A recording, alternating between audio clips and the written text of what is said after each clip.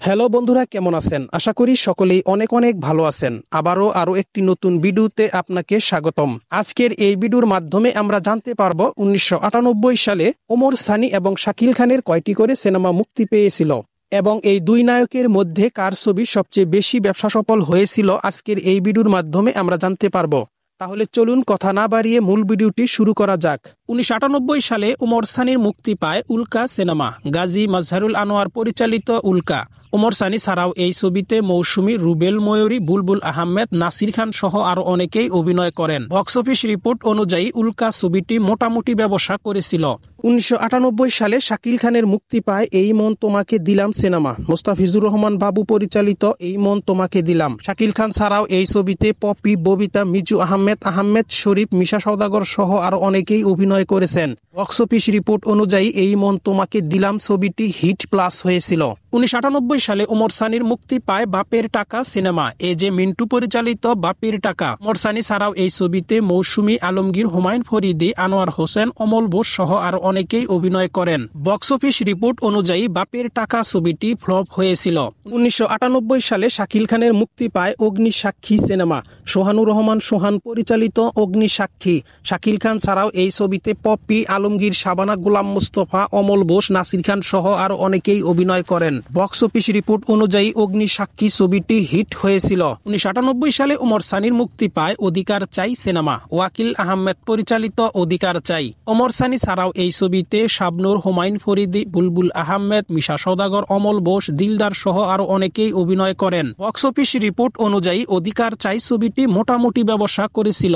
উনিশশো আটানব্বই সালে শাকিল খানের মুক্তি পায় রাজা রানী বাদশাহ সিনেমা। আজিজুর রহমান বুলি পরিচালিত রাজা রানী বাদশাহ। শাকিল খান ছাড়াও এই ছবিতে শতাব্দী রায় আহমেদ শরীফ, শারমিন অরুণ সহ আর অনেকেই অভিনয় করেছিলেন। বক্স অফিস রিপোর্ট অনুযায়ী রাজা রানী বাদশাহ ছবিটি হিট হয়েছিল। উনিশশো আটানব্বই সালে ওমর সানির মুক্তি পায় তুমি সুন্দর সিনেমা। ইস্পাহানি আরিফ জাহান পরিচালিত তুমি সুন্দর।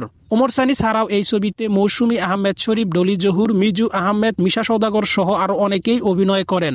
বক্স অফিস রিপোর্ট অনুযায়ী তুমি সুন্দর ছবিটি হিট হয়েছিল।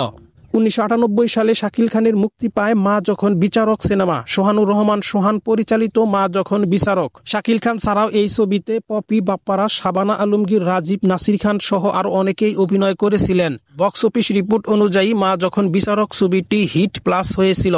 উনিশশো সালে উমর সানির মুক্তি পায় মধুর মিলন সিনেমা, বাদল খন্দকার পরিচালিত মধুর মিলন। উমর সানি ছাড়াও এই ছবিতে শাবনুর, রাইসুল ইসলাম, আসাদ আহমেদ শরীফ, দিলদার সহ আরও অনেকেই অভিনয় করেন। বক্স অফিস রিপোর্ট অনুযায়ী মধুর মিলন ছবিটি মোটামুটি ব্যবসা করেছিল।